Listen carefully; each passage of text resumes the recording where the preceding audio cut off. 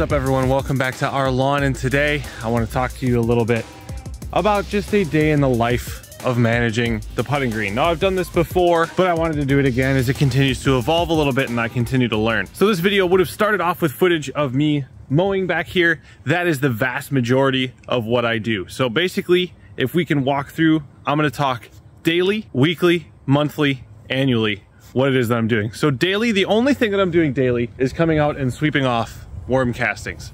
And that process is just taking my leveling rake mid-afternoon to later in the day when they've hopefully dried out a little bit and just running it over the green and making sure that all of those worm castings are gone. Every two or three days then I'm coming out and I am mowing both the fairway and the putting green. So that is the vast majority of what I'm doing. Those processes take about five minutes on the green and probably 20 minutes on the fairway in total every two or three days. Then there's the stuff that's happening on a weekly basis, which in theory would be me coming out and top dressing with sand.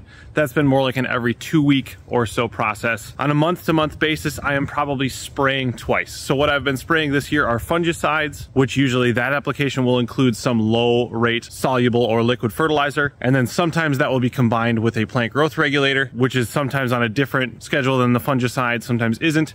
That will also typically include a soluble or liquid liquid fertilizer. Coming out to spray, I'm gonna say out the door to in the door is about 45 minutes for me to do about 4,000 square feet. And those products are ammonium sulfate and urea for the soluble fertilizers, or I have a 1200 that has iron and micronutrients. Plant growth regulator has been T-Nex, and the fungicides have been some combination of Armada, azoxystrobin, and Eagle. And really the only other task is watering. So I'm gonna say probably 10 to 15 times I've watered the green and the fairway this year. The green a little bit more often because that is the most susceptible to dying when it starts to get hot and dry so that I am watering probably every two or three days when it's hot and sunny and it's not raining. And that's really about it. So there you go, a relatively unplanned out video in terms of what I've been doing here in the backyard. A little bit of footage you can watch and enjoy. Comment with any questions that you may have on what I'm doing with the putting green questions, etc. One more sneaky little feature that we've added. You ready? Check this out.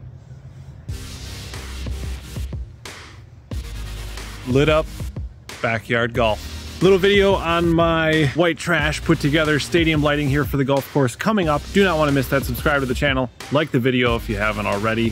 Thank you so much for watching. we'll see you next time.